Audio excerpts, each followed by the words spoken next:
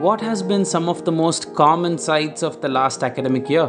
Numerous online apps, various platforms, and anxious parents asking, Is this current way of learning adequate for my child? As a solution to all your worries and to bridge the gap between students and teachers, we are adopting the blended learning program, which will be a one stop online platform for all educational purposes for your child.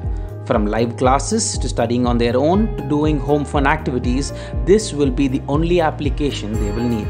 This also gives the students a complete classroom experience where they'll have whiteboard interactions with the teacher and fellow students just like in a classroom. The teachers too can monitor the screen of every individual student and follow their work up close, just like in a classroom. This program has a balance of doing activities in notebooks and doing interactive activities on the app. There are a varied range of activities for every lesson across all subjects to keep your child engaged through the schooling hours of the day and to make sure they don't reach online learning fatigue. In the middle of all this, another question that lingers in the minds of most parents is My child has been sitting at home for more than a year now and has been staring into screens to attend classes. But are they actually learning? We hear you and we feel that your concern is completely valid.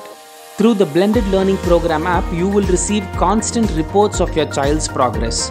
With this, you can visually track and observe your child's learning and development. The platform also answers a major concern of most parents, which is privacy.